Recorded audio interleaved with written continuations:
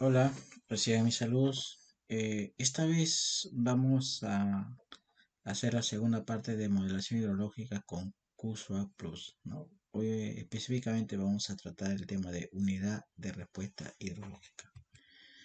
Bien, mi nombre es Marcelo Portugués. Iniciamos entonces.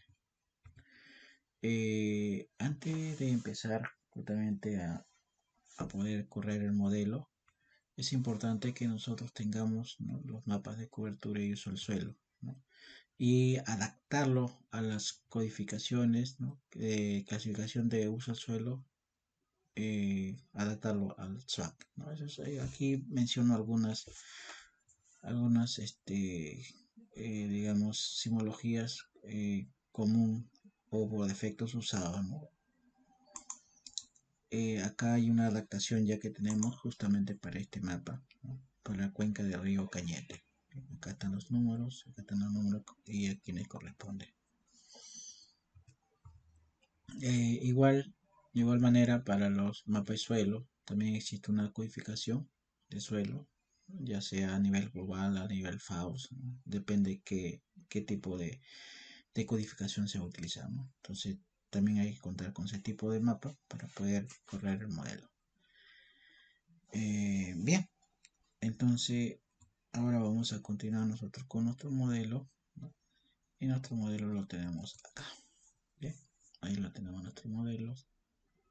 Y nos quedamos justamente en esta parte. Bien, ya teníamos la cuenca delimitada. Ahora vamos a crear la unidad de respuesta hidrológica. Entonces, como yo decía, es importante que nosotros tengamos un mapa de suelo. Voy a jalar ese mapa de suelo que ya lo tengo creado ya. Justamente acá donde dice cobertura, cañete y de suelo, textura de suelo. Eh, perdón, acá, mapa de suelo. Y acá lo jalo suelo. Ahora, hay unas codificaciones que uno debe tenerlo también previamente, como les mencionaba anteriormente. Eh, nosotros podemos encontrarlo justamente, a ver, en esta parte, bueno, en esta parte, acá está. Aquí tenemos, por ejemplo, la, la codificación para, las para las coberturas del suelo. Esta es la codificación. Eh, tenemos las codificaciones para textura suelo. También podemos tener acá el textura suelo. Bien esto es lo que uno ha ido preparando. Entonces esto hay que enlazarlo. Eh, voy a calar justamente del uso el archivo de eh, un archivo tipo CSV ¿no? entonces navegamos hasta modelando y acá estamos cuenca cuenca o suelo eh, ahí jalamos.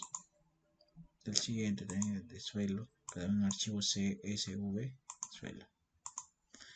Y eso vamos a enlazarle a la base de datos a la base de datos que tiene el modelo SWAP antes de empezar miren ustedes van a observar que el SWAP si ustedes entran donde ustedes están modelando bueno en este caso estoy trabajando acá en sí y acá donde dice modelos hidrológicos modelando y dentro modelando hidrología y acá tenemos acá tenemos nosotros eh, la base de datos este de acá es eh, digamos una base de datos local del proyecto y este de acá es a nivel global entonces aquí hay algunas informaciones a nivel global en esta base de datos. Y acá tenemos a nivel local. A nivel local podemos ya ver que se cargó la base de datos por ejemplo Ah, a ver, acá tenemos un, data. Aquí, por ejemplo, tenemos un, eh, un modo global. ¿Dónde está global? Global, global. Ah, estaba pasando al otro. Aquí era. Entonces aquí está, ¿no? Miren, modo global, esta parte. Si nosotros observamos aquí en la, en la, en la tabla está global vemos miren acá tenemos la información justamente voy a voy a amarrarme a esta base de datos porque mira acá están los suelos y acá están las, las características de cada de cada tipo de suelo ¿no? inclusive aquí vemos la el grupo, el grupo hidrológico, ¿no? Ya sea grupo A, B, C, D, ¿no? Bien, entonces a este voy a removerlo. A esta base de datos me voy a conectar. Listo, entonces voy a sigo con un modelo. Y acá lo conecto justamente al uso del suelo global. Bien. Listo. Acá voy a voy a, a, seleccionar justamente eh, eh, en la primera parte se generó este tipo de mapa. Justamente este mapa es para que se genera alrededor de los ríos para que ahí no se genere lo que es unidad de respuesta hidrológica. ¿no? Eh, voy a incorporar pendientes, voy a darle 5 y voy a darle 10. podría darle más, pero ahí es en esos rangos. Esos rangos de pendientes los que tenemos entonces. Bien. Esos rangos de pendientes podemos ver. Entonces el tercero y está. Bien. Eh, voy a generar y voy a decir que bueno porcentaje mínimo que sea del total del área que se puede leer sea un 2% vamos a, a, leer entonces estos archivos picamos allí esperamos que el programa procese. Puede tardar unos minutos. Todo va a depender también pues de la cantidad de data que podamos tener nosotros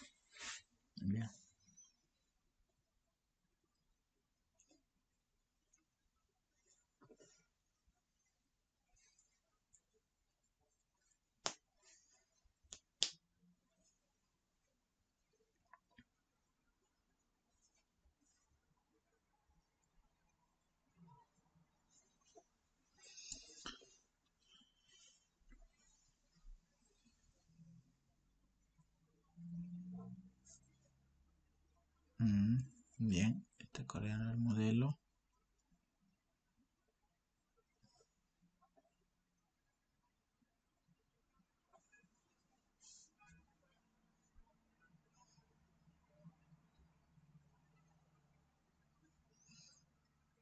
Bien, ahí está corriendo el modelo.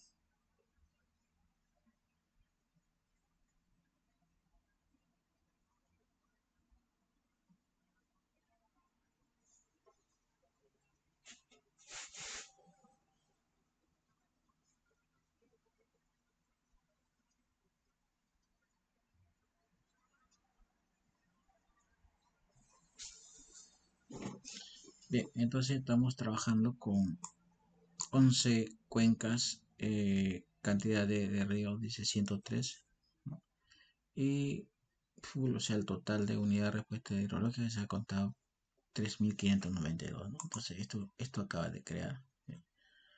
Acá tenemos, por ejemplo, bueno, acá tenemos, han creado los mapas, Tenemos acá el de, de uso suelo, ya lo he reconocido. Tenemos acá, a ver, otros mapas. Mira, acá está dependiente, el log, pendiente. Y acá tenemos, por ejemplo, la unidad de respuesta hidrológica que está acá. Vamos a ver cuánto se ha podido encontrar. Entonces en total ha encontrado 3770, ¿no? Los rangos que se tiene. Bien. Eh, la cuenca también podemos ver acá cómo está quedando ya la cuenca. Ahí está la cuenca ya comenzó a enumerarlo, ¿no? Bien.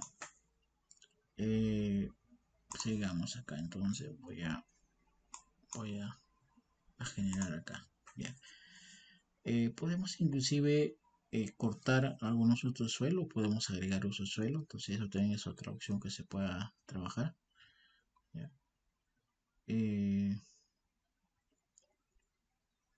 ahora vamos a, ver cuál es la, parte, bueno, vamos a filtrar por, por la predominancia, si es suelo o textura, este, cobertura de suelo, de cobertura, suelo o pendiente, ¿no? Entonces, es, es, el, digamos, el umbral que pueda tener y el porcentaje que podemos trabajar por cada uno, ¿no? Entonces, miren, si nosotros podemos, bueno, por defecto le dejamos ahí en el valor que tiene.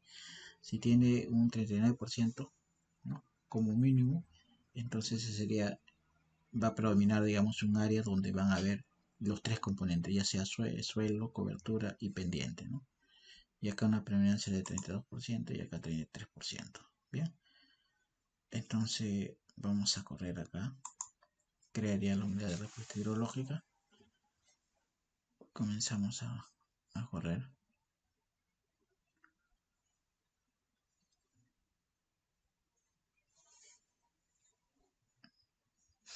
Estos valores ustedes podían ir ajustando, ¿no? De repente aquí dice, no, yo quiero que el, que el mínimo de, de suelo que haya no, no, sea tan pequeño, sea el 50%. Entonces puedes poner 50%, ¿no? Y así puedes ir ajustando cada uno de estos valores.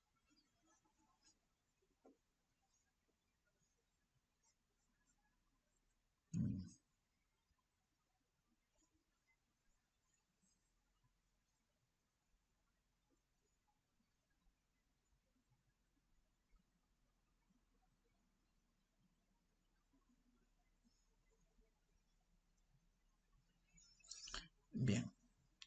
Entonces, en este momento ya nosotros, bueno, se ha trabajado sobre, realizado sobre 3000. Bueno, aquí mejor vamos a verlo.